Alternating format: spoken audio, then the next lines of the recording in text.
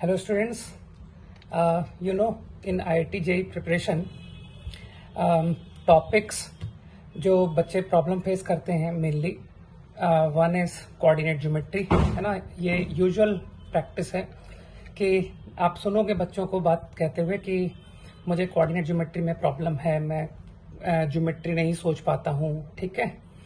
मेरे solutions lengthy होते हैं एंड सो ऑन इसी तरह से there is a topic permutation combination binomial theorem probability right here also you will come to know कि I am not able to solve problems of these topics जबकि मैं कह सकता हूँ कि specially permutation combination binomial and probability they are really very easy to score in exams है ना? इस पर कोई बहुत टफ क्वेश्चंस नहीं आते और इवन कुछ ट्रिकी प्रॉब्लम्स है ना? तो you will find a very short solution to them मतलब they are easy to score in exams and also you all know कि sir now it is they have become very important in our career also है ना? Now it is finance companies quant trading companies है ना? They all use permutation probability like this ठीक?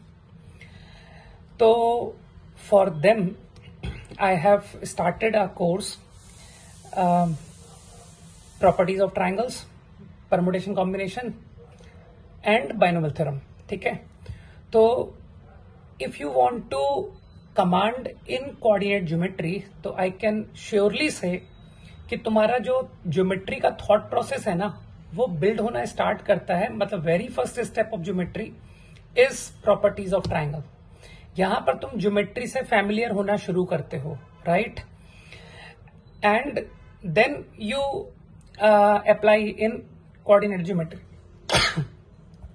right and same is with probability कि तुम्हारा जो base है वो परमुटेशन कॉम्बिनेशन में बनता है।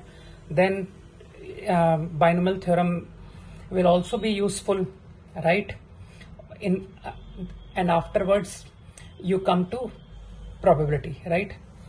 तो this course is going to be very very very important for students who really target a good rank in advanced and good percentile in mains course over properties of triangle permutation and binomial binomial theorem के बारे में मैं अपना एक common uh, idea बताता हूँ। एक जो मैं बहुत शुरू से देखता आ रहा हूँ। आई डोंट नो वाई अगर बाइनोमल का प्रॉब्लम जेई में आता है एडवांस की मैं बात कर रहा हूँ, क्योंकि मेंस में तो देखो बहुत स्ट्रेट से क्वेश्चंस आते हैं, है ना? Coefficient of x cube find करो। इतने इजी क्वेश्चंस की मैं बात नहीं कर रहा। I am talking about problems asked in JEE advanced तो आई हैव सीन कि good students who get a decent rank in IIT exams say that they could not do the, that problem in exam. है ना? जबकि you will find कि sir वो problem इतना difficult नहीं था if you prepare in a decent way right तो this is a scoring topic है ना? और स्कोरिंग का मतलब मैं ये कह रहा हूँ कि ये तुम्हारे रैंक में बहुत जंप देगा क्योंकि most of the students who will get through in IIT, they will also be, not be able to solve that problem in exam. Okay I am not talking about top hundred students because top hundred तो तुम जानते हो कि they are able to do most of the problems है ना?